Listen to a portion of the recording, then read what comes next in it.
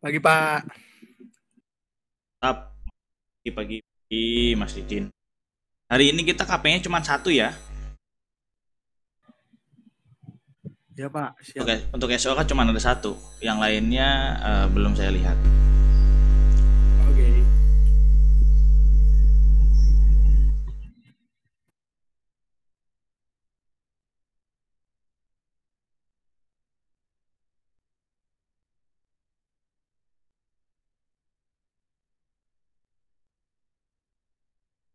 Berjalan aja ya. Teman-teman, ada yang bisa udah kita mulai atau masih mempersiapkan?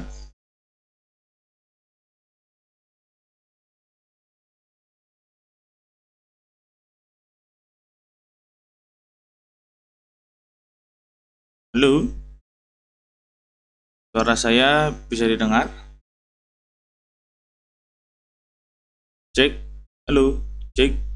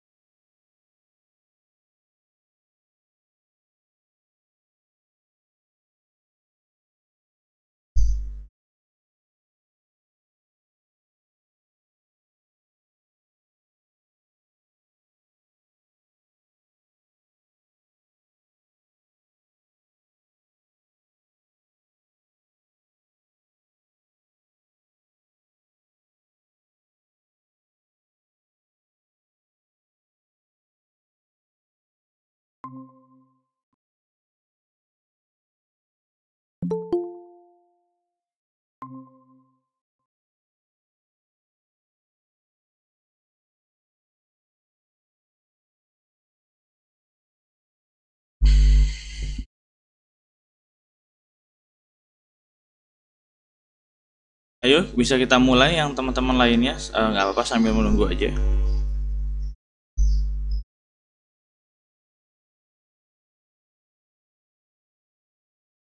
Apakah suara saya terdengar dengan jelas? Atau nggak ada suara ini terhilang?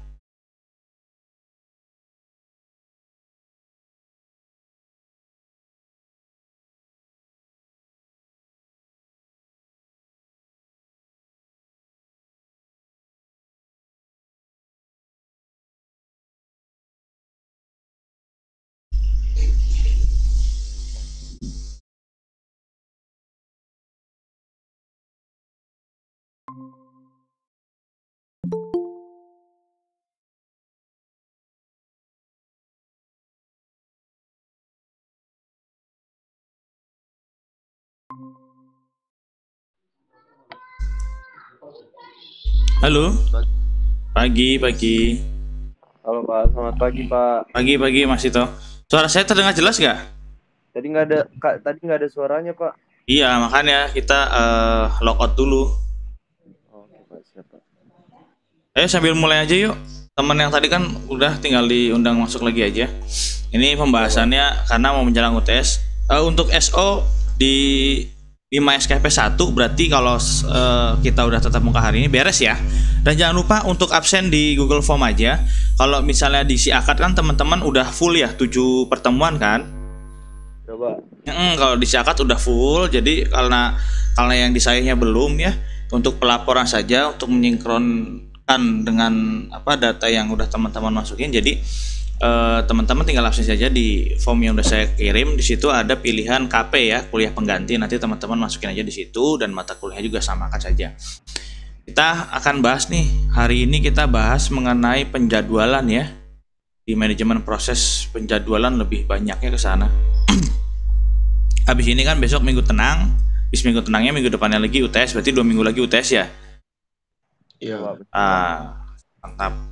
Ini juga saya di uber-uber waktu buat ini nih soal.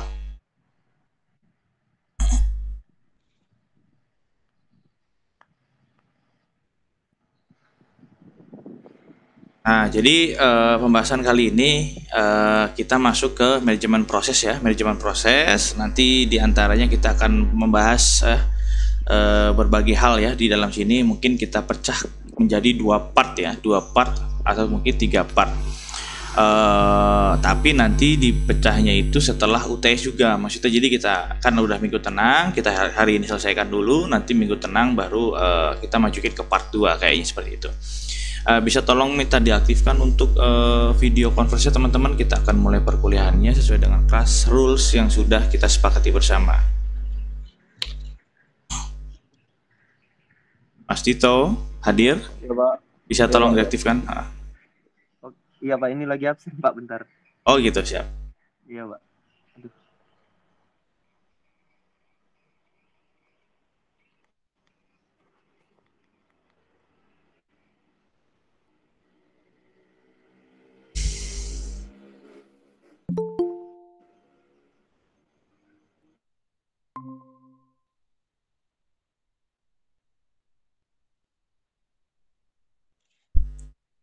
Mas Fahmi bisa tolong diaktifkan video conference-nya kita akan mulai perkuliahan Bentar, Pak.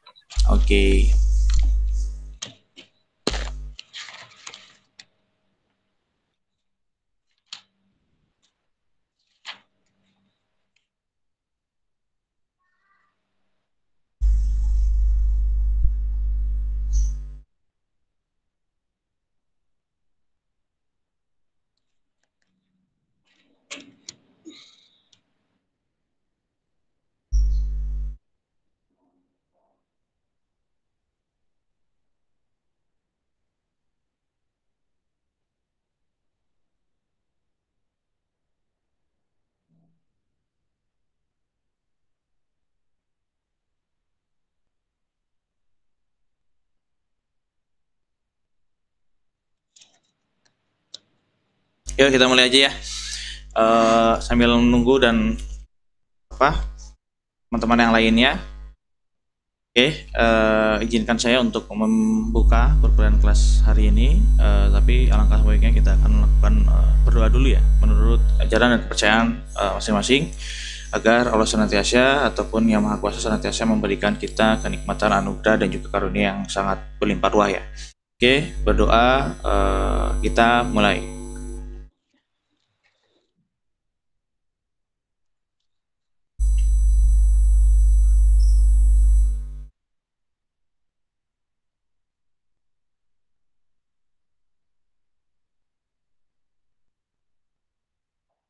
Doa selesai. Oke, hari ini kita akan membahas eh, mengenai manajemen proses nih teman-teman yang di mana ini merupakan eh, bentuk dari eh, pecahan eh, pertemuan yang lalu ya tentang konsep proses. Jadi kon- eh, di apa konsep proses ini kita akan perdalam beberapa manajemen eh, yang lainnya seperti manajemen eh, penyimpanan ya, manajemen prosesnya juga terus ada lagi manajemen berkas ya, manajemen device, memori dan lain sebagainya. Nah, kita salah satunya kita akan uh, membahas mengenai manajemen proses. Nah, jadi di dalam uh, apa konsep proses ya kita flashback lagi untuk mengingat merupakan uh, bentuk dari abstraksi ya terhadap pengalokasian sumber daya ya serta eksekusi suatu program atau bisa kita analogikan konsep proses itu mengenai bentuk deskripsi ya, mengenai de- bentuk deskripsi ya untuk eh, bisa mengalokasikan suatu bentuk pengalokasian sumber daya dan juga eh, kode program.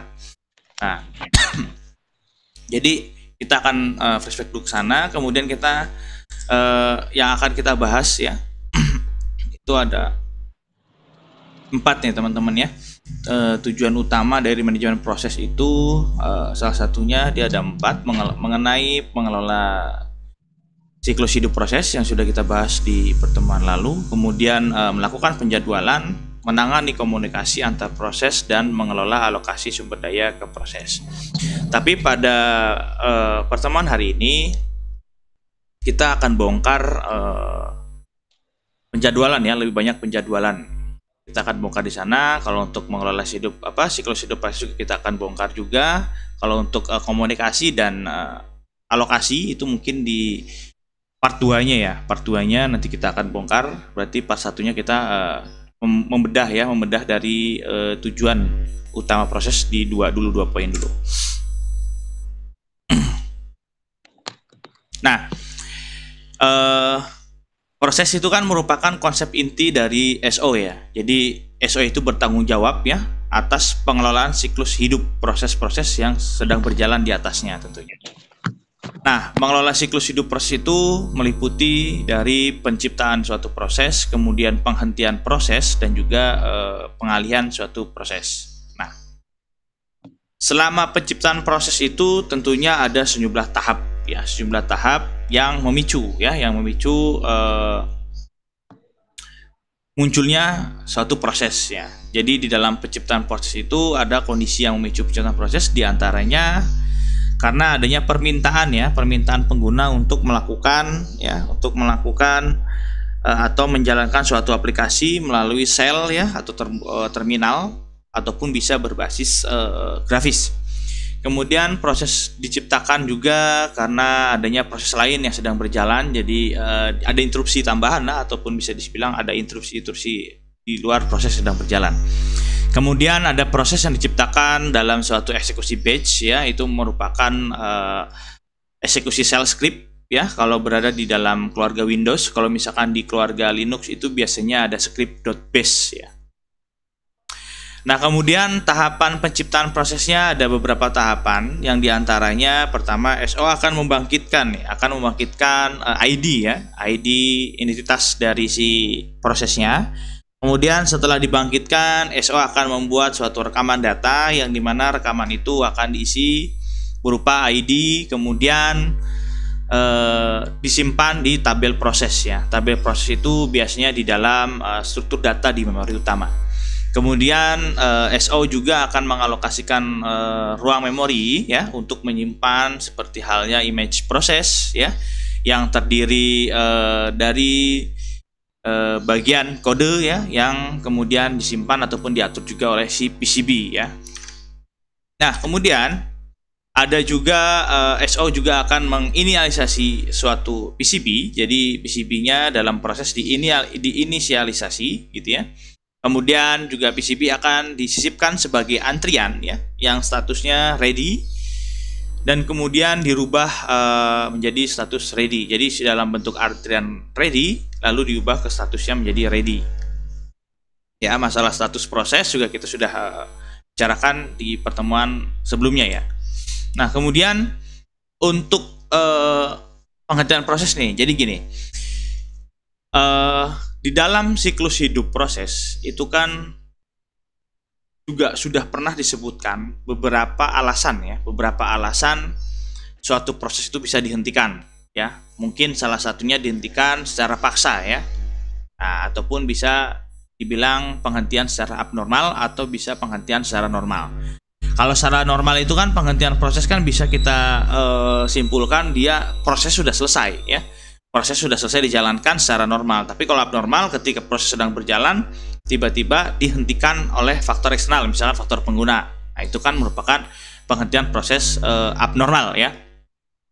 Nah, dalam e, suatu kondisi e, kesalahan gitu ya e, ataupun yang dilarang ya, yang tidak dikendaki, itu akan menyebabkan e, proses dihentikan secara paksa tentunya. Nah, dalam e, dalam proses ya, secara normal gitu ya, langkah-langkah penghentian proses secara normal itu kita bisa sebutkan tiga nih minimal. Jadi eh, mengembalikan hasil keluaran ke proses induk, yaitu setelah selesai proses dilakukan maka dikembalikan lagi ke proses apa. Kemudian menghapus rekaman ya, menghapus rekaman tadi data yang disimpan di dalam tabel proses gitu tentunya. Itu di semua antrian dan di tabel proses itu dihapus. Kemudian menghapus PCB ya, menghapus PCB serta image proses lainnya Kemudian seluruh uh, input output ya sumber daya input output juga akan dibebaskan di, dan dikembalikan lagi ke bentuk semula oleh CSO-nya. Kemudian setelah penghentian proses selesai ya SO akan melakukan operasi penjadwalan atau scheduling untuk memilih proses lain yang akan dieksekusi tentunya. Nah, kemudian pengalian eksekusi proses atau proses switching ya. Jadi ketika pengalihan eksekusi dilakukan dengan menggunakan uh, dispatcher ya, dispatcher tentunya. Nah, kemudian uh, penyebab dari uh, pengalihan proses itu ada beberapa tentunya ada interupsi salah satunya. Nah, interupsi ini uh, secara umum gitu ya untuk penanganan yang terlebih dalam melakukan penyimpanan konteks kepada prosesor ya atau prosesor konteks ya. Nah, jadi seperti ini misalnya uh, ketika instruksi itu disebabkan oleh aksi eksternal, proses seperti perangkat input ataupun output, kemudian ada uh, timer, ada interrupt apa interrupt ya. Inter inter interrupt ya, interrupt handler ya dan juga uh, contoh instruksi lainnya. Nah, instruksi itu ada tiga nih teman-temannya, ada tiga, ada uh, instruksi waktu, ada instruksi perangkat input output, tentunya ada instruksi dari kesalahan memori. Nah, kalau misalnya uh, dalam instruksinya sendiri itu biasanya seluruh register proses ya, seluruh register proses yang disimpan ke dalam PCB. Nah, kemudian di dalam instruksi waktu ya, di dalam instruksi waktu itu digunakan untuk memeriksa pemakaian jatah waktu penggunaan prosesor yang telah habis dan juga belum jika maka prosesor akan dialokasikan ke proses lain. Jadi ketika uh, dalam interupsi waktu, jadi di prosesor ini itu akan uh, melihat ya memeriksa dulu jatah waktu yang dialokasikan kepada dirinya ya kepada si prosesor maksudnya apakah telah habis gitu kan atau misalkan belum jika belum atau jika sudah maka prosesor akan dialokasikan ke proses lain ya itu di interupsi waktu kemudian ada interupsi perangkat input output ya yaitu untuk memberikan informasi mengenai adanya operasi IO ya atau uh, telah selesainya operasi IO. Nah, jadi IO itu kan input output seperti layaknya uh, kita pengetik dalam keyboard ya. Itu ada ada interupsi proses nih. Seperti halnya ketika kita sedang proses uh, menampilkan presentasi dalam Google Meet tapi tiba-tiba kita melakukan uh, operasi input output berarti harus ada interupsi ya jadi pemenggalan. Istilahnya operasi IO-nya itu dijalankan. Tapi awalnya sedang menjalankan Google Meet gitu ya. Nah, kemudian interupsi kesalahan memori yaitu terjadi jika prosesor mencoba mengakses alamat logika yang datanya belum disalin ke memori utama. Jadi eh, karena karena dalam pemberian eh, alamat ya di dalam memori itu sudah diberikan alamat masing-masing sesuai dengan eh, prosesnya. Nah, jika ada kesalahan yang terjadi ketika alamat itu diakses ya, tapi eh, datanya belum disalin ke dalam memori itu akan menimbulkan suatu kesalahan ya. Nah, penyebab pengalian eksekusi proses itu disebabkan tiga hal biasanya ya. Ada dari interupsi, ada trap dan juga ada sistem call. Nah, kita akan masuk ke dalam si trapnya nih. Jadi uh, trap ini merupakan instruksi yang dipicu oleh terjadinya kesalahan eksekusi atau kondisi ya, exception condition, yang di mana khusus dari proses yang sedang running, jika kesalahannya fatal, maka dilakukan proses switching. Begitupun juga sebaliknya, jika kesalahan tidak fatal, maka SO dapat memberikan peringatan pengguna untuk menjalankan prosedur pemulihan dan melanjutkan kembali ke eksekusi proses tersebut. Nah, ini biasanya sering terjadi ketika teman-teman sedang memproses suatu web browser, ya. Suatu web browser yang di mana uh, loadingnya, ya, loadingnya terhadap akses ke server tertentu, ya, uh, itu lama. Nanti si web browser Google ya biasanya suka memberi tahu kepada kita untuk tetap menunggu proses atau menghentikan prosesnya. Kan suka ada timbul pilihan pop up ya biasanya. Kalau teman-teman sering membuka atau sering bermain dengan web browser. Itu sering terjadi karena saya juga beberapa kali juga sering dapat pemberitahuan di layar saya berupa uh, pop up notifikasi untuk tetap menunggu situs ini selesai dijalankan sampai bisa dibuka atau mau dihentikan paksa gitu kan. Nah, kemudian uh, sistem call ya. Jadi sudah kita uh, jelaskan sebelumnya. Jadi sistem call itu sebagai penghubung ya, penghubung untuk bisa melakukan proses ya. Jadi uh, sistem call ini merupakan bentuk dari uh, pemanggilan layanan SO ya oleh si proses yang sedang berjalan tentunya. Jadi pengguna sistem call ini menyebabkan aliran eksekusi berpindah dari kode instruksi kernel SO-nya. Nah, jadi ini pun juga bisa menjadi penyebab pengalian eksekusi ya. Nah, kemudian kita lihat nih teman-teman. Di sini ada contoh pengalian eksekusi yang di mana ada proses 0 dan proses 1 ya. Proses 0 itu dia akan menyimpan ya sesuai dengan instruksi tadi ya. Dia ketika menjalankan dia akan menyimpan dulu ke PCB ya. Kemudian setelah dalam masuk bentuk antrian, dia akan di reload ya atau dimuat lagi datanya. Bisa disebut save itu backup, reload itu uh, restore ya, bisa disebut seperti itu. Nah, kemudian di reload masuklah proses satu ya. Setelah antrian masuk proses satu dieksekusi ataukah nanti ada interupsi ya, ada interupsi ataupun ada dari sistem call. Kalau ada, maka dihentikan prosesnya ya. Nah, ketika dihentikan prosesnya akan dikembalikan dulu, disimpan di SO. Di save dulu prosesnya sudah sampai di mana kalau ada instruksi itu ya. Maksudnya di situ di, di operating system tuh kalau misalkan ada interupsi di save dulu kemudian dimasukin ke dalam status antrian uh, blocked gitu ya. Di blok dulu sementara kemudian di restore. Setelah di restore dikembalikan ke proses nol. Sehingga apa? Sehingga nantinya ketika akan menjalankan proses nol lagi nanti dia akan memuat lagi datanya yang terakhir sampai di mana. Ya gitu seperti itu. Jadi prosesnya seperti itu ketika pengalian eksekusi. Nah, di sini ada eh,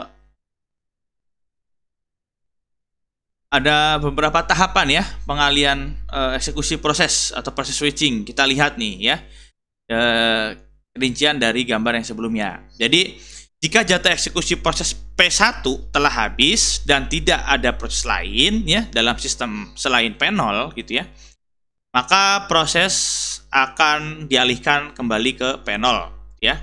Nah, langkah yang paling penting dalam menyimpan suatu proses yaitu bentuk penyimpanan ataupun backup dan juga konteks yang paling penting yaitu untuk menyalin kembali ya yaitu berupa restore dalam suatu uh, konteks eksekusi proses ini ya. Nah, tahapannya adalah yang pertama SO menyalin ya ataupun backup konteks prosesor yang isinya seluruh register tentunya yang sedang berjalan ya itu eh, P0 kemudian ke PCB ya. Proses tersebut berubah menjadi PCB 0 seperti yang tadi digambar ya PCB 0 nih. Kemudian SO memperbaharui isinya dan mengubah status eksekusi menjadi block atau ready. Nah ini ya di dalam titik-titik tiga ini dia diperbaharui statusnya ya di dalam titik-titik tiga.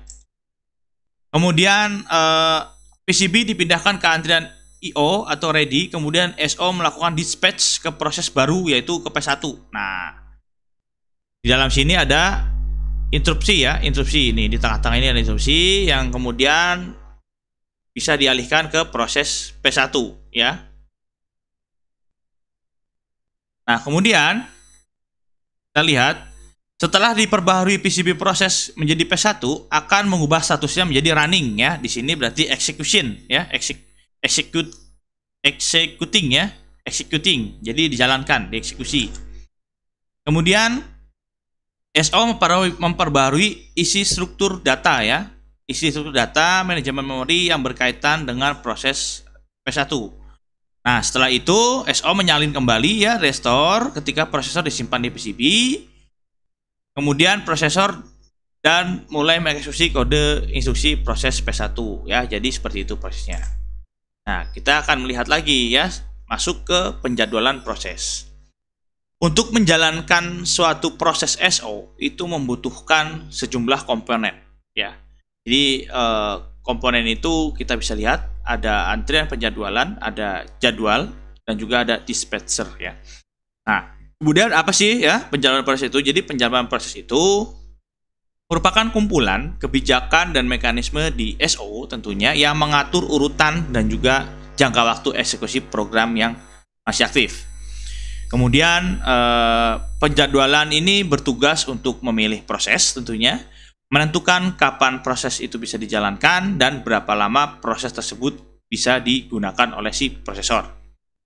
Nah, komponen yang dibutuhkan itu ada antrian ya, merupakan uh, antrian penjadwalan, kemudian ada penjadwalan, kemudian penjadwalan pun juga dipecah lagi menjadi tiga, ada jadwal jangka pendek, kemudian ada jadwal jangka menengah dan juga ada jadwal jangka panjang. Nah, dispatcher itu merupakan uh, bentuk dari rutin SO yang berfungsi untuk melakukan pengalihan ya eksekusi dari proses running ke proses lain. Jadi pengalihan eksekusi itu dikepalai ya ibaratnya dikepalai oleh si dispatcher ini ya. Jadi uh, pengalihan si eksekusi itu dikepalai oleh dispatcher. Nah, kemudian sasaran penjadwalan proses itu apa? Jadi sasaran dalam sasaran utama ya penjadwalan proses itu yaitu untuk mengoptimasi kinerja sistem komputer ya. Jadi menurut eh, kriteria tertentu ada beberapa kriteria yang harus dipenuhi yaitu tujuannya adalah untuk keadilan ya. Dalam hal ini nanti eh, keadilan kita akan jelaskan, kemudian ada efisiensi, juga ada waktu tanggapan, ya, ada waktu tunggu, ada turnaround time dan juga ada throughput ya. Nah, kita akan lihat apa sih yang dimaksud dengan sasaran penjadwalan adil itu, jadi proses itu harus diperlakukan sama ya, yakni mendapatkan jatah waktu layanan yang sama juga. Tidak ada proses yang mengalami starvation, yaitu terdapat proses yang tidak melayani dalam jangka waktu yang lama. Jadi mau jangka waktu yang lama, jangka waktu yang pendek, tetap si proses pun dilayanin. Waktunya pun juga dikasih jatahnya ya, sesuai sama ya setiap proses. Kemudian Uh, sasaran keduanya adalah efisiensi yang di mana efisiensi ini merupakan proses yang dihitung oleh perbandingan rasionya ya dalam waktu sibuk memproses dengan total waktu operasi sistem komputer secara keseluruhan. Nah kemudian selanjutnya ada sasaran penjadwalan ya yang di mana uh, sasaran ini itu untuk menjaga agar prosesor itu terpakai secara terus menerus atau bisa dibilang secara aktif ya tapi di dalam status ready sehingga efisiensi komputer menjadi maksimum tujuannya agar tidak memboroskan siklus hidup prosesor yang lainnya. Kemudian dari waktu tanggapan eh, di mana eh, waktu tanggapan ini diusahakan seminimal mungkin atau sependek mungkin. Waktu tanggapan pada sistem interaktif tentunya adalah durasi waktu antar pengguna memberikan masukan input ya sampai hasil outputnya muncul ke layar ataupun terminal. Nah, untuk respon time ini bisa kita lihat prosesnya dalam teman-teman melakukan pengolahan kata, misalkan menggunakan uh, aplikasi uh, Microsoft Word, teman-teman mengetikkan sejumlah kata, maka respon time yang dibutuhkan kita itu harus sangat cepat ya. Jadi ketika kita ketik huruf A itu langsung muncul juga A balik ya. Nah itu merupakan bentuk respon time yang sangat cepat tentunya. Jadi sesuai dengan konsep ya waktu tanggapannya seminimal mungkin dan sependek mungkin ya itu merupakan bentuk dari waktu tanggapan biasanya di pada sistem interaktif tentunya kemudian e, waktu tanggapan pada sistem nyata atau real time itu adalah waktu di saat e, kejadian ya internal maupun eksternal itu sampai eksekusi pertama rutin layanan gitu ya yang dimaksud di eksekusi yaitu event response time ya, jadi dalam e, sistem nyatanya itu ada saat-saat kejadian baik dari internal maupun eksternal ya jadi instruksi tersebut bisa dieksekusi. Nah, kemudian ada waktu tunggu nih. Jadi uh, waktu tunggu itu kita melihat ada durasi yang dihabiskan oleh suatu proses dalam antrian ready itu berapa lama durasi yang kita harus uh, berikan ya si prosesor harus berikan. Kemudian uh, pada lingkungan sistem komputer tentunya ya si kalau dalam konteks waktu tunggu ini kita bisa melihat atau mengacu kembali pada sistem komputer yang konkuren ya konkuren berarti jatuhnya e, berprosesor tunggal tentunya. Jadi dalam suatu waktu hanya satu proses yang jalan gitu ya. Sedangkan pada proses lainnya menunggu di antrian ready. Itu waktu tunggu.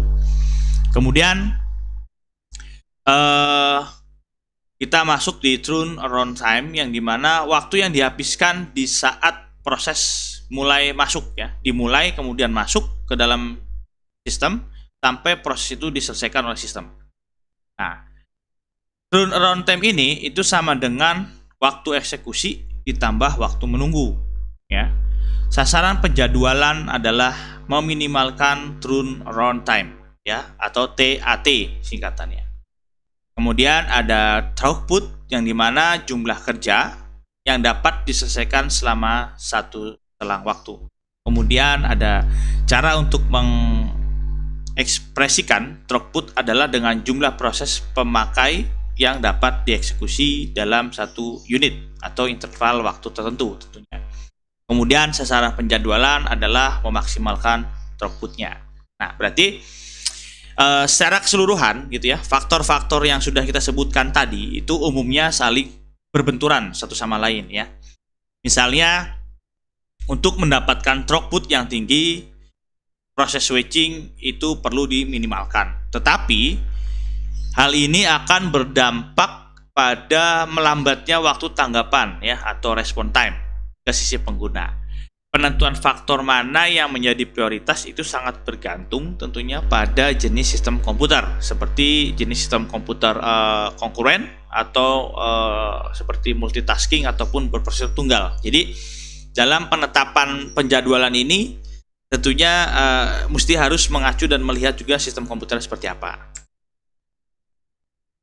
Nah, kemudian ada tipe-tipe penjadwalan ya yang di mana tadi sudah disebutkan ada penjadwalan jangka pendek, jangka menengah dan juga jangka panjang ya.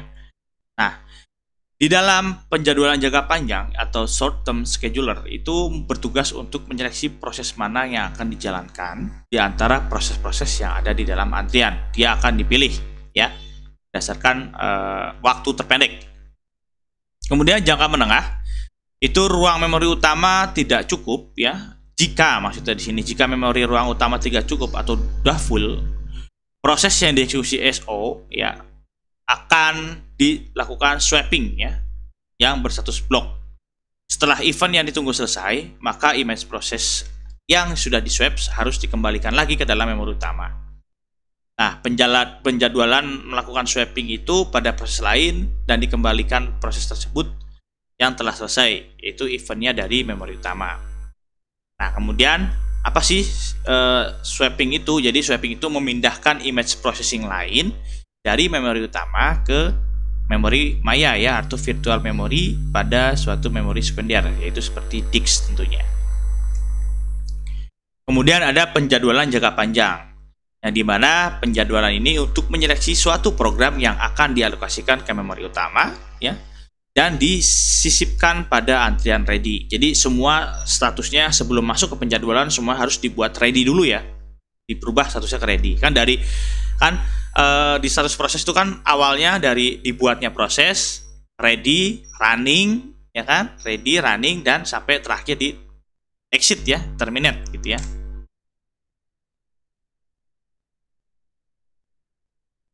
Nah, di dalam melakukan penjadwalan tentunya ada strategi yang harus uh, dipenuhi ya. Nah, strategi ini ada dua. Jadi ada penjadwalan non preemptif dan juga penjadwalan preemptif ya. Jadi dalam melakukan atau penetapan penjadwalan dibutuhkan suatu bentuk strategi yang nantinya strategi ini akan dipecah lagi untuk mendukung agar strategi ini sukses yaitu pasti digunakan pendukung-pendukung lainnya ya. Jadi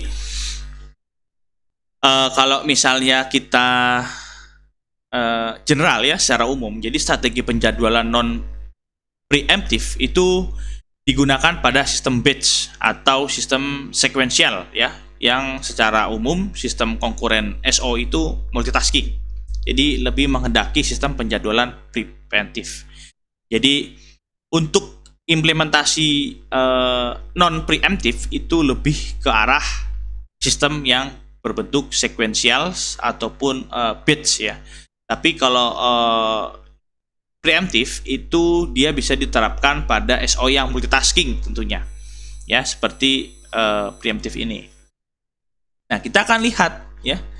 Jadi begitu proses diberi jatah ya oleh si waktu pemproses, maka pemproses tidak dapat diambil ahli oleh proses lain sampai proses itu selesai yang artinya pengalian proses dapat terjadi jika proses yang running sudah selesai, baik secara normal maupun abnormal. Ya, karena preemptif itu cocok digunakan pada sistem sekuensial yang tentunya berurut. Ya. Kemudian preemptif yaitu saat proses diberi jatah waktu, maka pemproses dapat diambil alih oleh proses lain sehingga proses tersebut itu dapat disela ya sebelum proses yang tadi itu selesai ya sampai menunggu jatah waktu proses itu dijadwalkan kembali oleh si proses itu. Ada empat ya. Ada empat keadaan yang memicu terjadinya penjadwalan ya. Yang di mana ada proses berubah dari status running ke block. Yang kedua, proses dari status running ke ready. Yang ketiga, ya, berubah status dari block ke ready lagi. Kemudian yang keempat, proses berhenti. Jadi eh, ada proses eh, yang sama ya, bisa dibilang sama, tapi hanya sedikit perbedaan dari running ke ready ataupun dari block ready. Jadi bentuk empat inilah yang akan mem- memicu terjadinya eh, penjadwalan. Nah, kita akan lihat ya. Di sini ada proses 1, proses 2. Ya, itu merupakan non preemptive. Kemudian ada proses 1, proses 2 dan P1 yaitu ada preemptive ya. Yang di mana kita bisa lihat ya. P1 ini tidak bisa diinterupsi ya, harus selesai dulu. Harus selesai dulu baru dia menjalankan P2 sesuai dengan eh, teorinya. Kemudian di dalam preemptive P1 dalam prosesnya bisa disela oleh P2 ya. Kemudian setelah P2 selesai baru dikembalikan lagi ke P1 dan P1 bisa dijalankan sampai dengan selesai. Ya, itu perbedaan secara jurnalnya. Kemudian ada banyak algoritma ya untuk melakukan penjadwalan proses ya.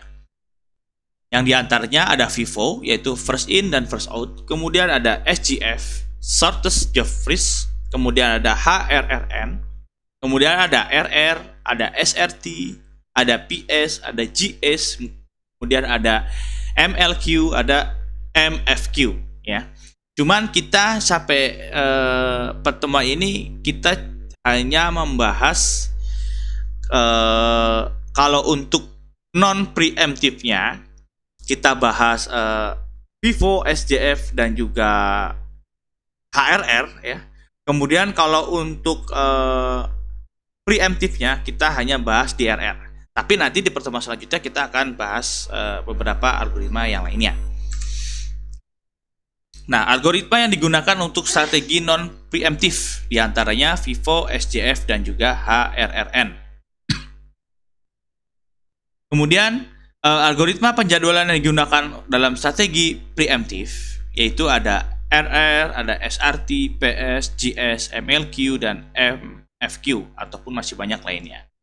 Nah, selanjutnya kita akan eh, memakai beberapa istilah dalam rumus seperti waiting time yaitu eh, disingkat sebagai WT yang di mana rumusnya adalah waktu selesai eksekusi dikurangi waktu datang proses dikurangi waktu eksekusi.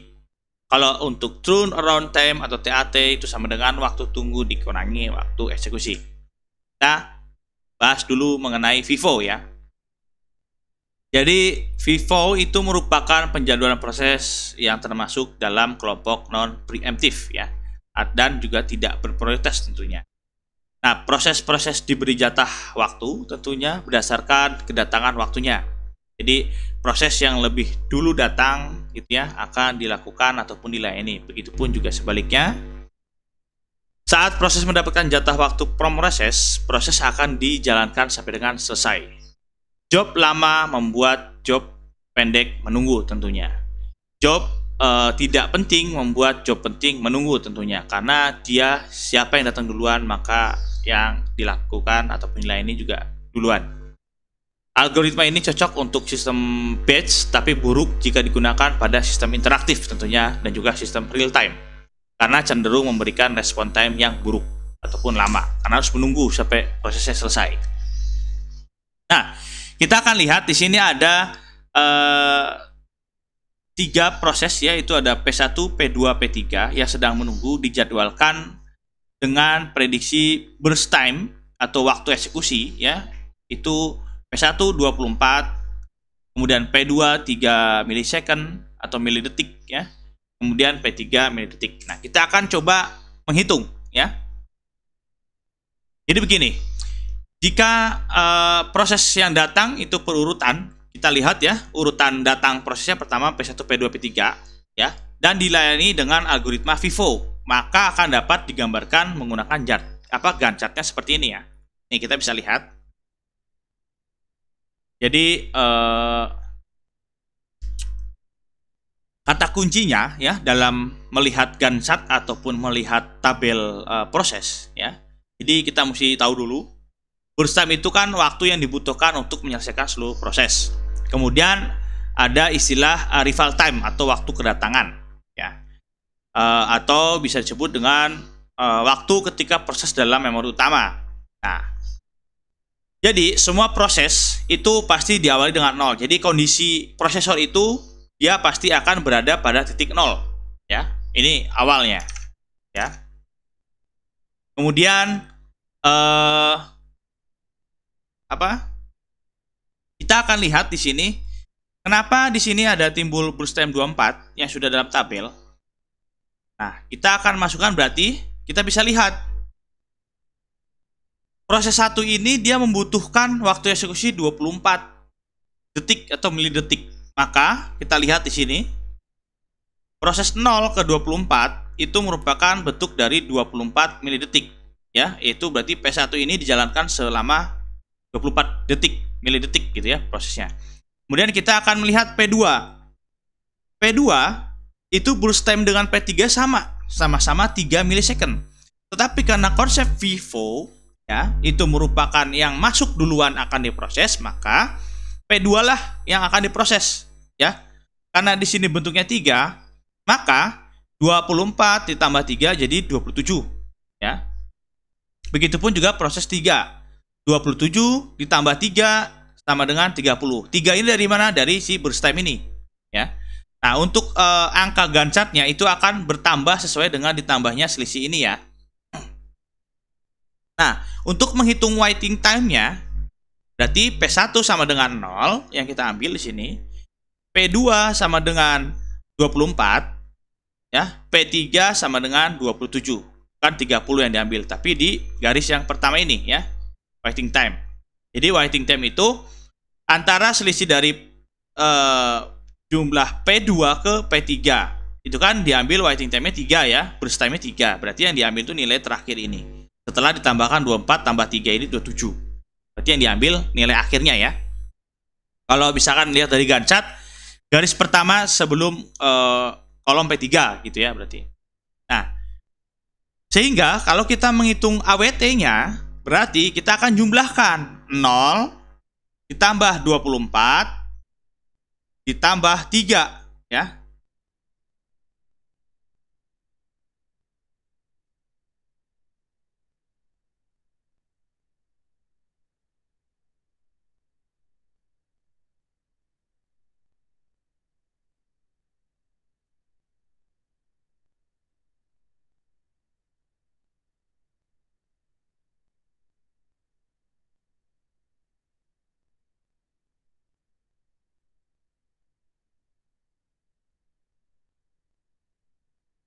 Maka hasilnya adalah 17 milidetik. Berarti kalau misalnya nanti suatu saat ada soal yang berbentuk untuk menghitung algoritma FIFO, maka teman-teman akan melihat dulu sebelum teman-teman membuat Gantt chart-nya, teman-teman lihat dulu di sini ada berapa proses dan ber, apa dan burst waktunya time-nya berapa. Kemudian dari sini baru teman-teman membuat Gantt chart. Ya, Gantt chart. Jadi eh membuat Gantt chart itu tidak mesti harus kotak ya, bisa dengan garis ya. Kalau misalnya ingin lebih rapi berarti menggunakan eh, batang ya. Yang di mana garisnya ini ada 0, garis panjang gitu ya. Nanti kita akan sama-sama buat ya. Eh, saya coba pakai ini. Jadi eh, Gantt chart itu teman-teman ketika menyelesaikan suatu kasus itu tidak mesti harus sebentar. Tidak mesti harus ini ya. Tidak mesti harus menggunakan batang. Nah, kita lihat. Di sini terlihat nggak? Saya lagi buka apa?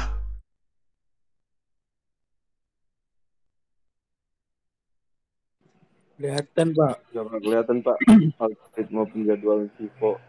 Oh, berarti algoritma penjadwalan FIFO. berarti yang ini ya nggak kelihatan ya? Google Jamboardnya. oh, Google Jamboardnya nggak kelihatan. Nah, ini ya. Sudah ya. Saya lagi buka papan tulis kan? Ya, Nah, jadi kan kita lihat ya. Jadi misalnya ketika kalian diminta untuk membuat Gantt dan menghitung waktu tunggu ataupun AWT gitu ya. Jadi mesti dilihat dulu ya. Kan di slide itu ada proses P1 ya, P1 di sini ya. Eh, sebentar. P1, kemudian ada eh, P2, kemudian ada P3 ya. Nah, tiga proses misalkan. Kemudian si burst time itu kan tadi di sini ada 24 ya. Kemudian ada 3, kemudian ada 3 ya. Ini dalam satuan MS ya. Aduh, saya nggak punya pen nih, jadi pakai mouse jelek. Nah, terus eh, ketika membuat Gantt kita ambil dulu. Berarti kan P1 itu pasti datang dari proses awal ya, P0. Ya, bisa dibilang P0 atau P1 di sini ya. Siapa nih yang masuk? Mana? Mana tadi? Nah, maka prosesnya adalah berarti kita lihat dulu P1 ini berstepnya 24. Maka dari 0 ya.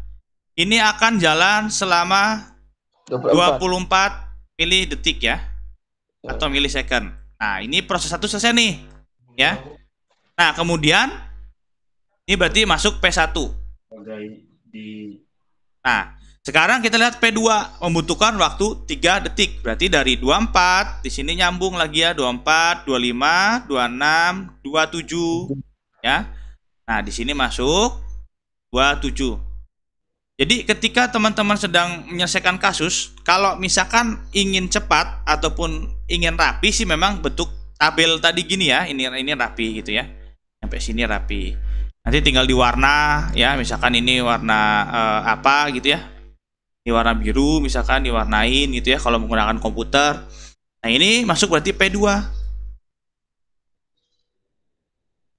Nah, ini P2 mulai dari sini dia jalan. Nah, ini P2. Kemudian P3 ditambah lagi ya. 3 berarti di sini nyampe ke 30, betul. Nah, kalau misalkan Vivo mudah ya. Gimana dengan algoritma yang lain gitu ya? Nanti kita akan eh, bahas. Ya. Nah, ini P3 30. Nah, untuk ngitung waktunya Baik tadi ya, untuk menghitung waktunya itu Nah, eh jambut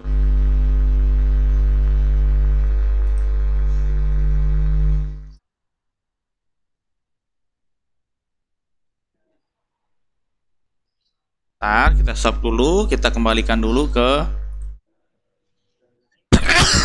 Aduh.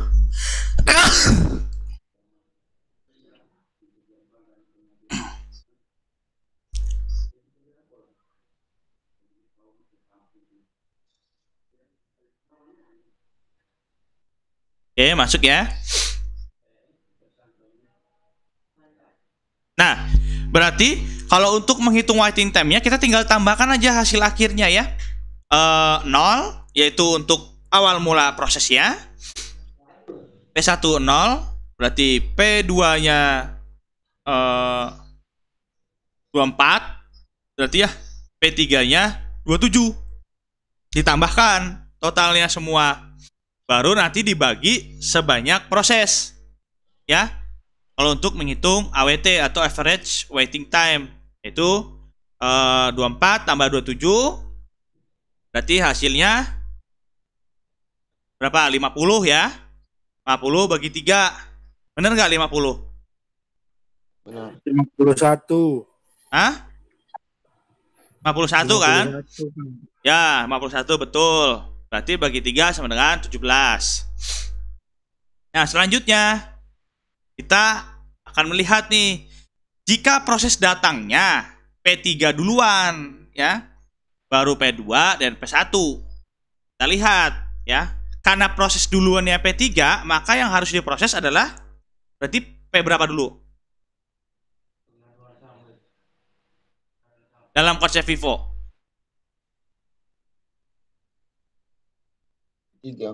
Ya, betul. Karena P3 dulu yang awal datang. Kan konsepnya first first in, first out, ya. Jadi karena di sini clue-nya waktu kedatangan prosesnya adalah P3 dulu, maka teman-teman akan membuatkan Gantt chart P3 dulu, Tiga dulu ya. ya. P3 tetap awalnya dari nol. Kenapa? Karena posisi CPU standby itu di nol ya. Iya. Nah, betul. Kemudian kemudian ditambah 3 ya di sini karena memang si P3 ini eh, burst time-nya dia bentar. Nah, P3 ini burst time-nya itu 3, maka di sini 3 ya. Kemudian P2 ya ditambah lagi 3. Jadi 6. Barulah dari sini ya P1 24 6 tambah 24 sama dengan 30. Jadi titik akhir proses P1 adalah 30. Maka waktu tunggunya sama ya, waktu tunggunya 0 kita ambil, kemudian P2-nya 3, P1-nya 6 ya. Nah, rata-rata AWT-nya adalah 0 ditambah 3 tambah 6 ya, berarti 9. 9 bagi 3 sama dengan 3. Nah, untuk TAT-nya ya, TAT ataupun waktu penyelesaiannya adalah misalnya P1. P1 waktu penyelesaiannya adalah 30. Berarti yang akhir. P2 waktu penyelesaiannya adalah 6. Ya. P3 waktu penyelesaiannya adalah berapa? Tiga, tiga. Ya, betul. 3. Sehingga ketika kita hitung 30 ya P1 ditambah 6 P2 ditambah 3 P3. Kita bagi total prosesnya ada 3. Maka hasilnya adalah 39 dibagi 3 sama dengan 13. Berarti dari ketiga proses ini ya, dari ketiga proses ini itu membutuhkan total waktu ya. Total waktu penyelesaian itu adalah 13 milidetik. Rata-rata penyelesaian dari ketiga proses ini itu adalah 3 milidetik. Ya, rata-rata. Waktu yang diberikan waktu yang diberikan oleh si alokasi memori ya kepada si prosesor P1 dikasih 24 milisecond. Wow, terlalu banyak ya P1 gitu kan, mungkin prosesnya berat gitu. Tetapi setelah dihitung-hitung, ternyata prosesor melakukan tiga jenis pengolahan ini hanya membutuhkan waktu 3 milidetik. Gitu ya. Jadi si P1 ini hanya kepake cuma 3 milidetik dari sekian banyaknya proses dia gitu. Maksudnya ke sana. Kemudian kita akan beralih ke algoritma SJF. Ya. Jadi SJF itu eh, asumsinya gini. Waktu jalan proses sama dengan sampai selesai sudah diketahui sebelumnya, teman-teman. Ya, sudah diketahui eh, sebelumnya. Kemudian menjalankan proses dari waktu terpendek lebih dulu sampai baru selesai. Yang di mana kita lihat contohnya misalkan di sini ada empat proses, ya. Batas waktunya burst time-nya itu adalah P16, P28, P37, kemudian P4-nya 3. Nah, misalkan teman-teman diminta buatkan Gantt chart-nya, misalkan dalam soal UTS ya, diminta buatkan Gantt chart-nya. Maka teman-teman akan membuatnya seperti ini. Pertama, teman-teman eh, ambil dulu waktu terpendek ya sesuai dengan con- conclusionnya. SJF itu diambil dari waktu terpendek di burst time ya. Maka teman-teman akan lihat dulu di sini sebelum buat Gantt chart mana yang terpendek? Oh P4 oke. Tiga kan di sini dikasih waktunya tiga. Maka P4 di sini tiga ya pertama 0 sampai dengan 3 kemudian P1 ya P1 itu 9 nah di sini kan 6. Berarti 6 tambah 3 berapa? 9. Ya. Dibuat nih P1-nya 9. Kemudian P3 ya. P3 kita lihat P3 di sini 7. 9 tambah 7 berapa? Enam, sembilan, tambah tujuh, enam belas. Berapa? 16. Ya. Berarti ditulis di sini P3-nya 16. Ya. Kemudian P2 kita lihat di sini 8. Ya, 8 tambah 16 sama dengan 24. Dua empat. Berarti untuk titik Gantt chart-nya selesai. Ya, ditemukan. Batang Gantt chart-nya pun juga sudah jelas terlihat. Nah, baru misalnya minta dihitung ya waiting time-nya. Berarti yang diambil adalah P13 ya, P2 16. Nah, ini P1 3 ini yang diambil nih bergaris ini ya. P1 3. P2-nya bukan 24 tapi 16. Kemudian P3-nya 9. P4-nya 0 ya.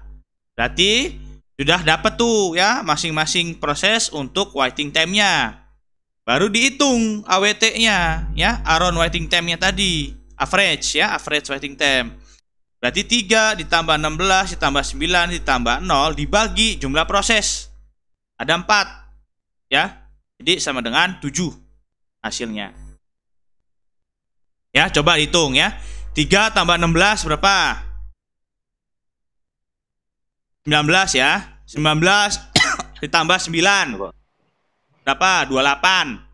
Ya, 28 tambah 0 berarti tetap 28. Ya. Berarti 28 dibagi 4. 7. Benar nggak? Benar. Ya, jadi seperti itu. Benar, Nah, benar. Nah, untuk menghitung rata-rata TAT-nya, ya, turun around time-nya berarti di sini 9 ya ditambah 24 yaitu 9 tuh ini nih, ya. Nih. Turun around time-nya kan 9. Nah, P1 di mana 9 ini. Ya. P2-nya 24 dari mana? Ini di akhir ya. Kalau kalau TAT lihatnya di garis akhir ya. Patokannya garis akhir. Kalau AWT di garis depannya. Ya, patokannya. Jadi TAT-nya P1, ini P1 garis akhirnya di 9. Kemudian P2 ya, garis akhirnya di 24. P3 garis akhirnya di 16. P4 garis akhirnya di 3. Maka tambahkan dulu semuanya. 9 tambah 24 tambah 16 tambah 3. Dibagi jumlah seluruh proses ada 4 bagi 4. Sama dengan 52 bagi 4 13. Oke, selesai. Gitu ya. Berarti terlihat di sini ya. Di sini berarti bisa dilihat waktu tunggu setiap proses ya. Waktu tunggu setiap proses adalah ya P1, 3, P2, 16, P eh, sampai dengan berapa ya saya sebutkan. Kemudian AWT-nya dapat 7 ya. Nah, ini ini teman-teman bisa pelajari nanti ya, bisa pelajari gitu ya. Nanti pokoknya UTS adalah di antara ini yang keluar diminta untuk menghitung eh, beberapa kasus gitu ya. Nah, kemudian kita ke contoh SJF yang menggunakan penjadwalan jangka pendek ya. Yang di mana kita lihat misalnya ada tabel sebuah tabel yang memiliki tiga kolom dan empat row ya. Yang di mana ada proses A B C D ya. Ada waktu tibanya yaitu 0 2 4 5 nah waktu tiba ini biasanya bisa diganti menjadi arrival time ya. Atau waktu kedatangan lah ya. Nah eh, lama prosesnya ya itu ada 7 4 1 4 kita lihat cara perhitungan dari algoritmanya Nah, contoh dalam menentukan AWT-nya berarti average waiting time untuk SJM non preemptive. Sebenarnya SJM pun juga kalau dipaksakan bisa digunakan dalam preemptive-nya ya, bukan non. Bisa saja tidak menggunakan non-nya, tapi di preemptive juga bisa kalau dipaksakan. Nah, contohnya begini. Kita lihat Gantt chart-nya ya. Kenapa ada Gantt chart 7 0 gitu ya? 7, 0, 8, 12, 16. Nah, kita lihat di sini. A sama dengan 0. Berarti apa? Eh, untuk waiting time. Kan kita mesti lihat nih di sini ya. Nah, kita mesti lihat yang diambil yang diambil di garis depan ya, yang diambil di garis depan itu merupakan apa coba? Masih ingat nggak? Dah, puyeng dah. AWT. Puyeng dah. AWT, Pak. Ya, betul. Jadi yang diambil di garis depan proses itu AWT. Yang diambil di garis belakangnya, ya. Di garis belakang itu TAT ya, patokannya gitu ya. Jadi P1 AWT-nya 3, P1 TAT-nya 9. Berarti gitu ya. Nah, kita lihat. Berarti ini yang diambil apa? Kalau 0 yang diambil. Ya, kenapa proses A yang diambil 0? Kenapa nggak 7? Nol itu waktu awal Ya, 0 waktu awal berarti untuk menghitung menghitung. waiting time-nya ya. Ya, Ah, kalau untuk eh, TAT atau turun around time-nya itu yang diambil 7. Ya, berarti A sama dengan 0. Ya, di sini. B, waktu mulai dilayani dikurang waktu tiba. Ya. ya. Nah, karena di sini A waktu tibanya 0 ya, maka sudah 0 saja ya. Karena di sini pun juga waktu awalnya 0. Kemudian yang B, waktu dilayani dikurang waktu saat tiba. 8 dikurang 2 dari mana gitu ya. Nah, ini waktu kurang tibanya 8. Eh, waktu kurang tibanya 2. Nah, 8-nya ini. Nih, yang diambil ya, depan ya, B yang diambil depan. Benar kan? Ya kan? Nah, jadi patokan seperti ini. Yang diambil 8 berarti 8 kurang 2 sama dengan 6. C begitu juga sama 7 kurang 4. Nih, waktu tiba 4. Ya, sebenarnya 3. Nah, maka yang disuruh menentukannya AWT, maka hasilnya adalah 0. Nih ditambah 6, nih ditambah 3, nih ditambah 7. Hasilnya totalnya ya berarti 6 tambah 3 berapa? 9. Nah, Ya, 9 tambah 7 berapa? 16. 16 Betul. 16 bagi 4 16 menit. 4. Nah, hasilnya 4 milidetik ya. Nah, berarti selesai nih. Ya. Nah, kita akan lihat lagi contoh algoritma penjadwalan HRRN. ya. Nah, jadi kita mesti harus ingat ya, dalam menghitung rumus waktu itu, waktu selesai dikurangi waktu mulai dikurangi burst time. Ya. Kita mesti ingat dulu nih. Ya, supaya kita enak menghitung waiting time-nya. Nah, jadi HRN itu dia merupakan high hash response ratio next, ya. Kemudian algoritma penjadwalan dari bagian kelompok non preemptif, ya, yang menggunakan prioritasnya dinamis. Algoritma ini itu memperbaiki dari SJF yang tadi, ya, dari sort. Kemudian prioritas ini tidak hanya merupakan fungsi waktu layanan, tetapi jumlah waktu ditunggu proses. Nah, rumusnya, rumus HRN, prioritas atau respons rasio sama dengan waktu tunggu ditambah waktu layanan dibagi waktu layanan. Ya. Nah, kita bisa lihat. Sini.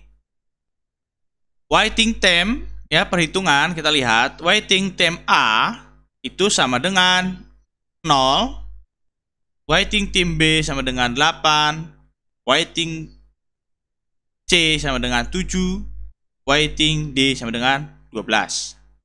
Kemudian untuk menghitung respons rasionya atau prioritasnya adalah 0 ya berarti si A karena yang diminta A 0 ditambah 7 ya 7 itu dari waktu layanan. Nih lama prosesnya.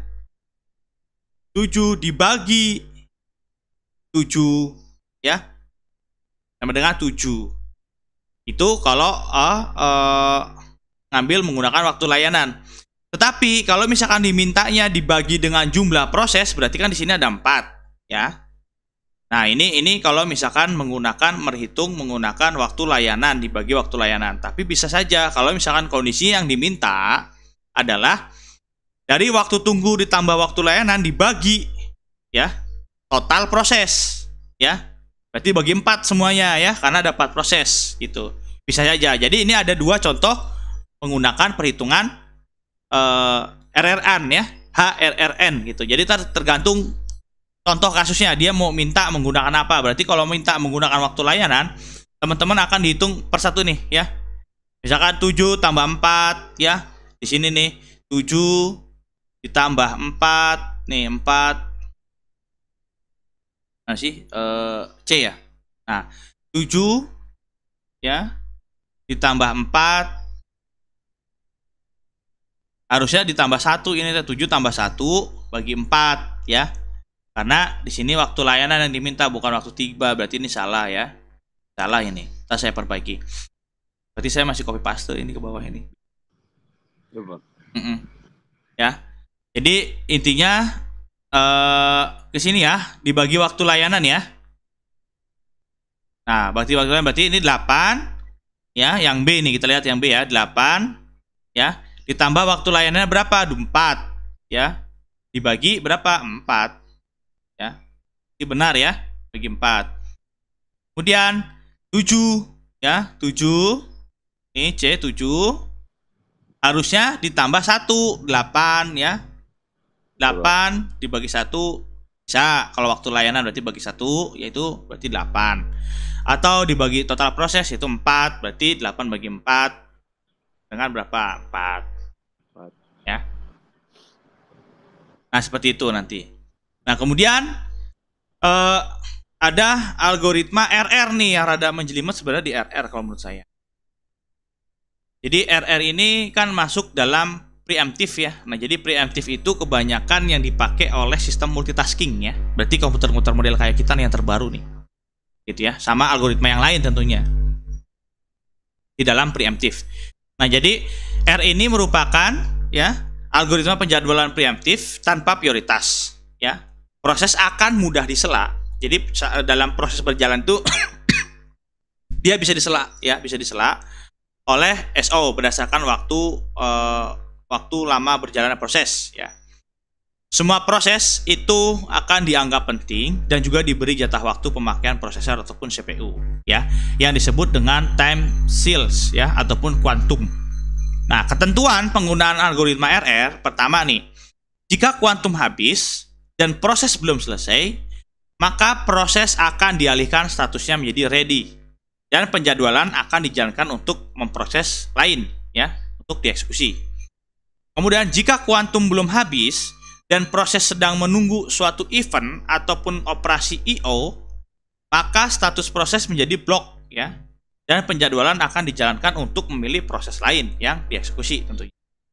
Kemudian jika kuantum belum habis tetapi proses telah selesai, maka proses diakhiri dan penjadwalan akan dijalankan untuk memilih proses lainnya dieksekusi. Nah, sebagai contoh nih, jangan khawatir teman-teman. Kita akan jelaskan menggunakan contoh-contoh ya, contoh-contoh. Nah, nih, ini kan ada empat proses. P1, P2, ya, P3, P4. Waktu kedatangan ya, arrival time-nya adalah 0, 1, 2, 3. Berarti ini waktu waktu kedatangannya dia tidak nyodok-nyodok nih, ya.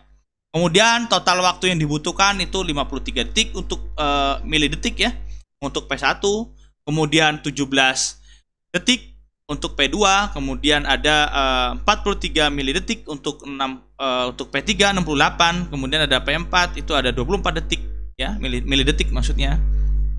Jika ya persyaratannya, jika kuantum yang dipakai sebagai perhitungan ataupun sebagai eh, jalannya proses yaitu 20 milisecond. Ya. Nah, terus minta dihitung waiting time setiap prosesnya dan dihitung AWT-nya. Nah, modar lo piye kan rumusnya gitu kan. Piye ki rumusnya we gitu kan. Nah, caranya adalah kita lihat dulu. Jadi teman-teman dalam membuat Gantt chart-nya ya untuk bisa menghitung ini, pasti teman-teman harus membuat ini. Gantt chart ya. Oh ini waktunya banyak banget pak ya ada P1, P2, P3, P4, P1 lagi, P3 lagi, P4 lagi, P1, P3, P4 wah lu piye pak gitu kan nah ini saya gambarin nih di mana Gantt chart-nya nih oke share this Udah keluar belum? Udah Pak. Udah ya? Udah ya, kita akan Kenapa? Nah. Up, spidol ini gede banget, stabilo. Ini apa nih kuas? Ini aja deh. Penak deh. Nah, misalnya kita di sini eh, menghitung ya, kita akan menghitung eh, algoritma ya, algoritma misalnya penjadwalan RR ya. Nah ini kita bikin dulu nih, kita bikin dulu eh, apa judul ya, kita bikin judul lah biar bagus lah biar nanti eh, hasil rekamannya bagus lah ya. Nah, kita akan dihitung nih buat gancatnya ya. Ini bisa di copy nggak sih? Teman-teman sambil lihat ini ya, sambil lihat slide-nya ya. Biar saya bisa enak juga ya. Jadi bikin dua tab aja. Ini saya proses satu ya, proses satu.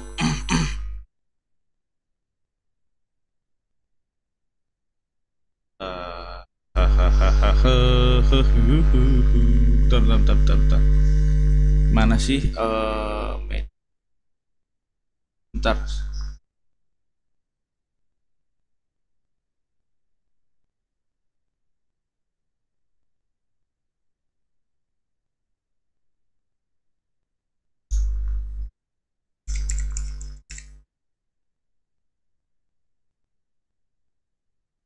media source Hmm. Sebentar, teman-teman, sebentar, sebentar.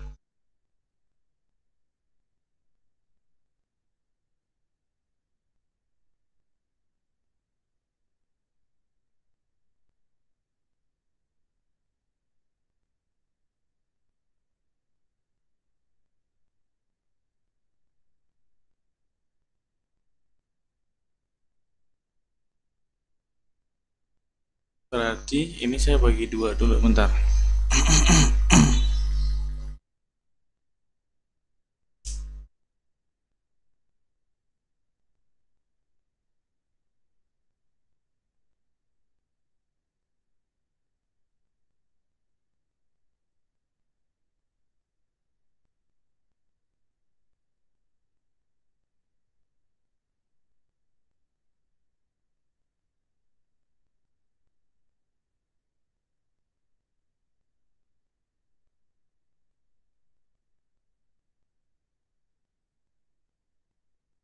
Sih? Eh bukan. Nah, kan muncul. Iya, sip. Bentar ya.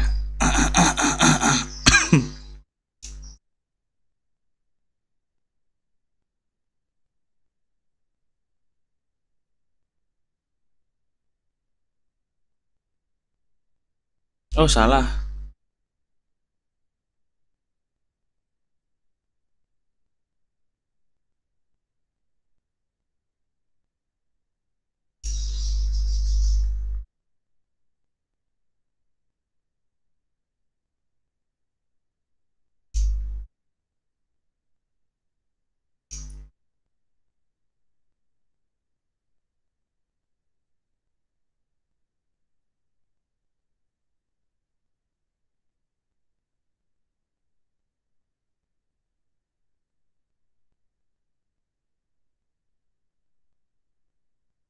Nah, jadi gini ya teman-teman ya, kita lihat nih ya.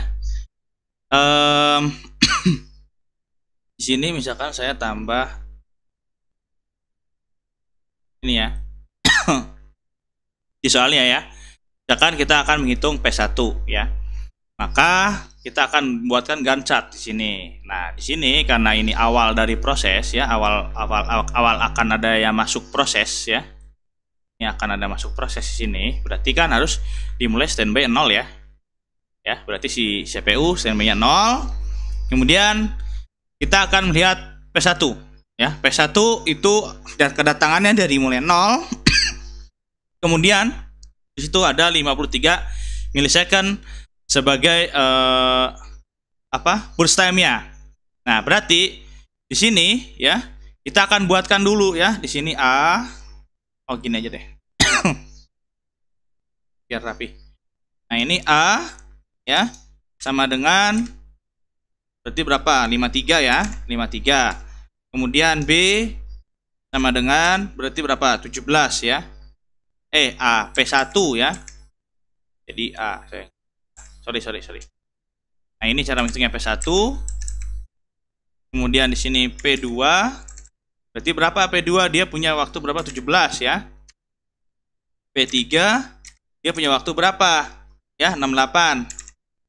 Nah, kemudian ada P4. Hmm? Sama dengan berapa? 24. Ya. Nah, kemudian kita akan menghitung ya, akan menghitung. Panggillah. Kita akan membuat gansatnya. Nah, karena di situ ada quantum time-nya 20, berarti di sini ada conclusion-nya teman-teman ya, ada conclusion-nya di sini berarti berapa? Sebentar. Nah, di sini berarti eh, quantum time-nya berarti kita ya, itu 20 milisecond ya. 20 ms lah ya quantum time-nya di sini.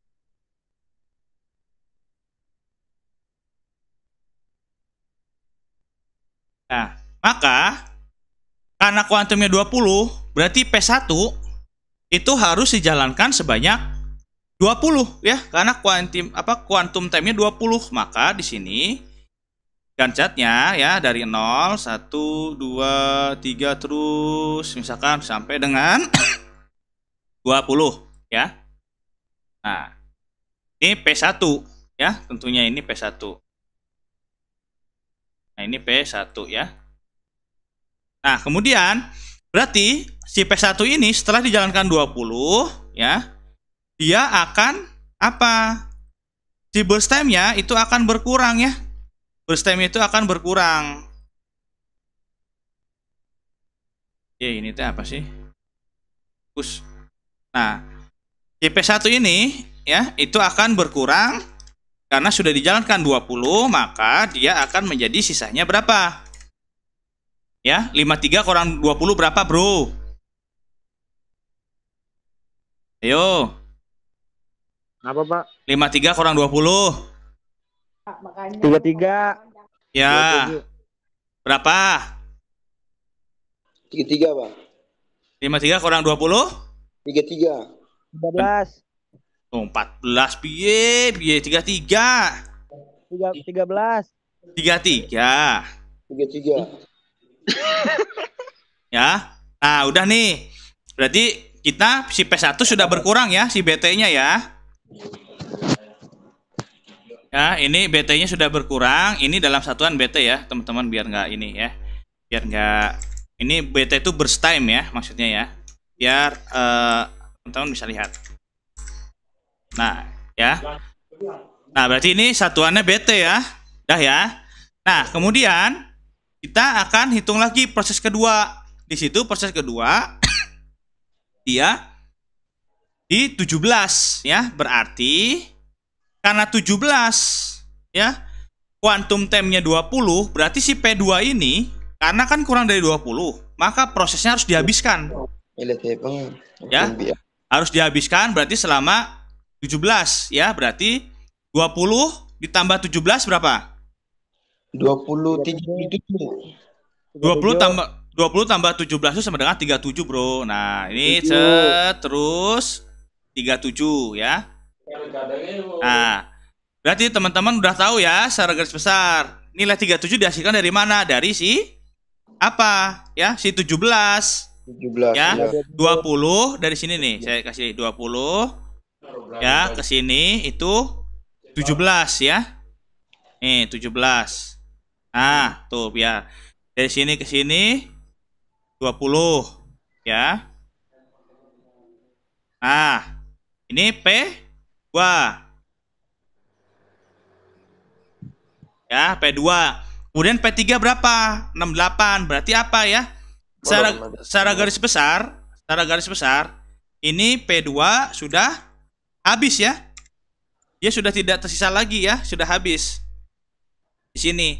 Nah, berarti sekarang kita akan proses P3. P3 itu ada 68 mili detik ya atau milisecond. Berarti dari 37 karena around apa kuantum time-nya 20, maka 37 tambah 20 berapa? 37 tambah 20. tujuh 57 ya. Nah, ini 57. 57. Nah, berarti ini P3 ya. Proses 3. Berarti apa? Itu kan secara garis besar. Nah, di sini si 68 si burst time yang yang diberikan jatah waktunya karena sudah dilakukan prosesnya itu 20 kuantumnya maka dikurangin 20 ya. Ya, dikurang 20 bisa berapa ayo? 48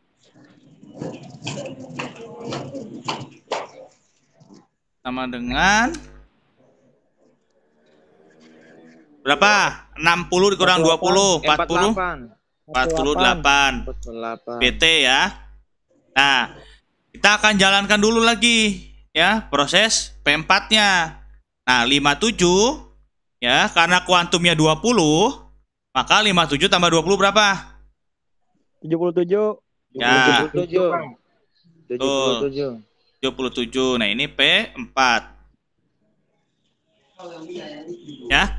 Nah, karena di slide-nya itu eh, terlihat ya, jika kuantum habis dan proses belum selesai, maka proses akan dialihkan statusnya menjadi ready dan penjadwalan akan dijalankan untuk milih proses lainnya. Nah, berarti yang sudah habis mana? Gitu kan sudah terlihat ya, P2 ya sudah habis ya. Nah, berarti dia akan dijalankan ke P3 karena sudah habis. Nah, berarti apa? Setelah ini semua selesai, ya, karena masih ada yang belum habis ya, masih ada nih, masih banyak yang belum habis nih. Nah, maka karena masih banyak yang belum habis, ya, seperti P4 ya, 24 dikurang 20 tadi ya, berarti ketinggalan nih, belum dihitung kita. Berarti sisa berapa? 4 ya. Iya. Nah, berarti nyisa 4 ya, 4 BT itu burst time maksudnya. Nah, berarti proses selanjutnya adalah karena P1 ini eh, dia urutannya P1, P2, P3, maka balik lagi di sini ya ke P1. Nah, 33 kurang 20 ya, berarti kita tetap di sini menggunakan kuantum 20 berarti 77 ditambah 20. Berapa? 97 97 ya. Nah, ini 9 Aduh, gede banget 7 ya. Nah, 97 dah. Nih balik lagi ke P1. Ya. Nah, P1 berarti di sini ya 33 dikurangin 20 20 ya. 20. 33 kurang 20. Sama dengan berapa? 13. Ya, 33 kurang 20 berarti 13. 13 ya. Nah, kemudian karena P1 habis, dia akan dilewat atau dial- dialihkan ke proses yang ready ya, yang statusnya blocked ke ready tadi ya. Berarti di P3. P3 kan dia menunggu statusnya ya di ready. Nah, berarti dari 97 ditambah 20 berapa? 117 Ya, 117. Nah, ini sifatnya adalah P3. Nah, ya, P3 beres nih. Kemudian kita kurangin dulu ya, 48 kurang 20. 48 kurang 20. 28 Apa? Ya. Berarti totalnya menjadi 28. Kemudian P3 sisa 4, 4 kurang dari kuantum 20 ya. Berarti proses P, P4 harus dihabiskan. Ya, berarti 117 ditambah 4 103. 121 Ya, 121 ya. Ini berarti P4. Ya. Nah, berarti ini P4 udah habis prosesnya ya. Nah, kita update statusnya di sini biar nggak bingung ya. P4 habis ya. Berarti yang tersisa masih P2 dan P3 ya. P1 dan P3. P, iya, oke, bener. Berarti kalian cermat. P1 dan P3. Ya. Nah, berarti di sini kita akan buat lagi Gantt chartnya. Berarti P1 ya. karena 13 dari kurang 20 kuantumnya, maka proses 13 harus dihabiskan ya. Berarti 121 ditambah 13 berapa? 103 eh 34. Ya, 134. Nah, ini P1. Waduh, sempit. P1 ya. Nah, selesai nih ya. P1 berarti kita update habis prosesnya. Ya. Jadi habis. Nah, kemudian berarti yang masih banyak P3 ya. Nah, 134 ditambah 20 berapa? 154. Ya, di sini 154 154. ya. Ah, ini P P3. Oke, kita sambung di bawahnya. Nah, berarti kita update ya. Si P8 dikurang 20 maka sisa 8 ya. Nah, ini kita bikin lagi ya. Ini ini ini ini nyambung ke sini harusnya, cuman karena nggak cukup kita di bawah. Berarti kita nyambung sini. Berarti awalnya berapa nih? 1 5 4 ya.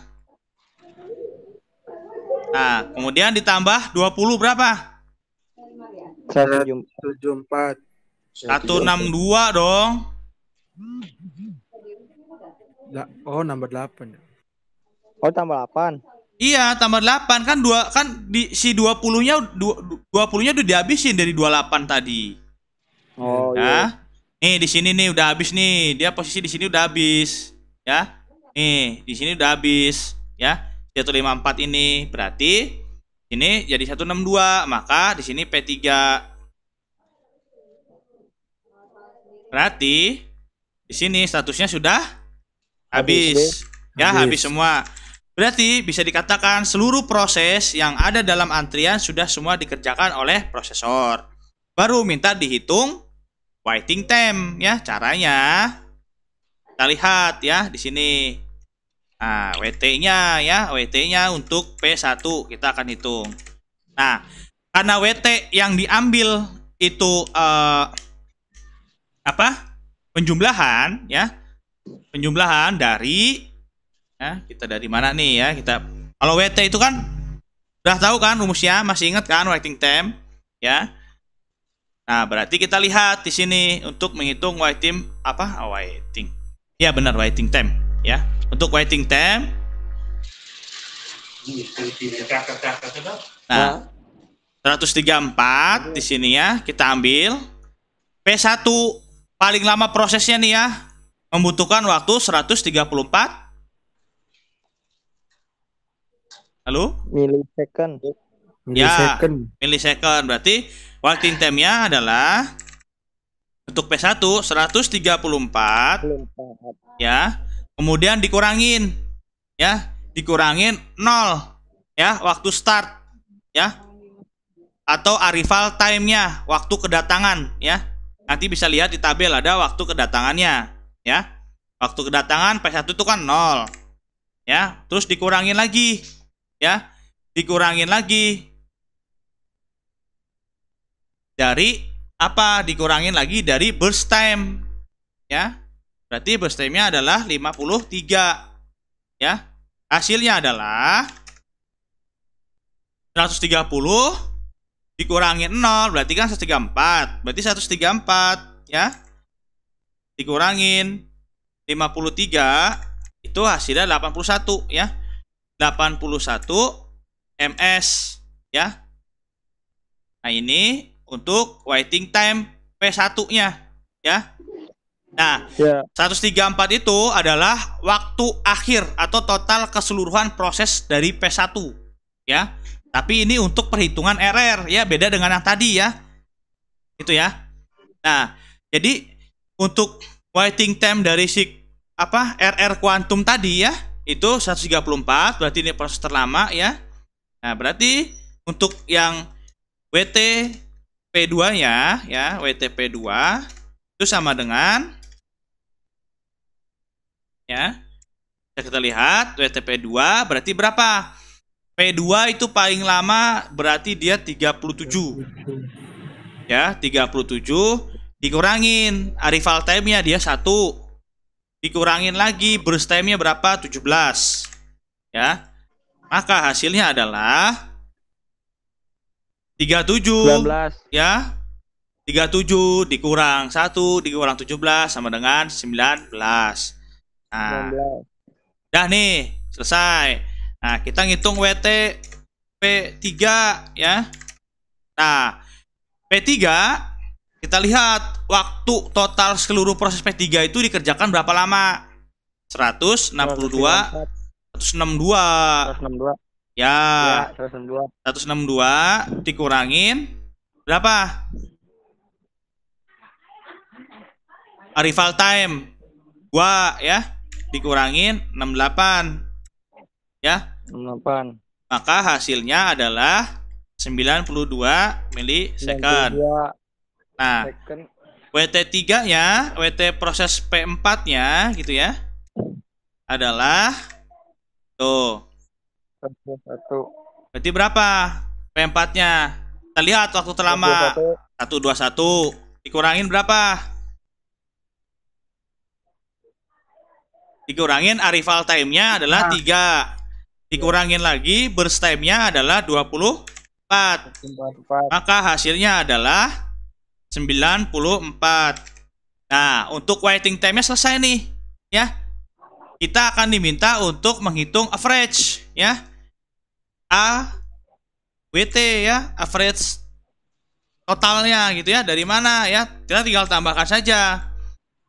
P1 berarti 81 ya. Eh 9, gimana sih? 81 ditambah 19 ya ditambah 92 ditambah 94 ya. Jadi total keseluruhan proses kita isi dulu ya. Kita masukkan dulu ya di sini deh biar enggak nah. Kita isikan dulu. Kemudian berarti hasilnya adalah 286 ya. Kita bagi jumlah total seluruh proses ada 4 maka hasilnya adalah 71,5 milisecond. Nah, ketemu kan? Tuh. Berarti si RR ini sudah kita lakukan perhitungannya teman-teman. Ya, untuk si RR ini. Sampai sini paham ya ngitung penjadwalan RR ya? Paham, Bang. Ya, Paham, jadi, Bang. jadi yang terpenting adalah perhitungan ininya teman-teman. Si burst time-nya dulu ya untuk membuat Gantt chart-nya. Ya, karena hasil Gantt chart ini akan dihitung dari hasil ini. Ya, ketahuan ya. Jadi kalau misalnya di sini ya salah, ada kemungkinan perhitungan di sini teman-teman salah penjumlahannya gitu ya. Nah, sini selesai. Sebentar, kita kembalikan dulu.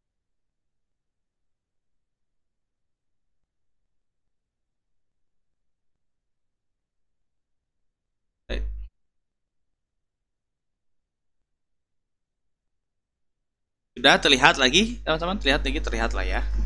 Ya pak, ya pak. Udah pak, udah pak.